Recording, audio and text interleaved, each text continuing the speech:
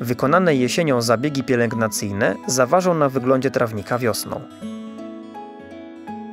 Zabezpieczają bowiem trawę przed chorobami, gniciem i pleśnią śniegową. Najważniejsze jest dokładne wygrabienie trawnika ze śmieci, liści i resztek organicznych. Rozdrobnione liście można wrzucić do kompostownika. Następnie przeprowadzamy koszenie, które kontynuujemy aż do pierwszych przymrozków. Na 2-3 dni przed przewidywanymi przymrozkami wykonujemy ostatnie koszenie. Innym ważnym zabiegiem jest wertykulacja.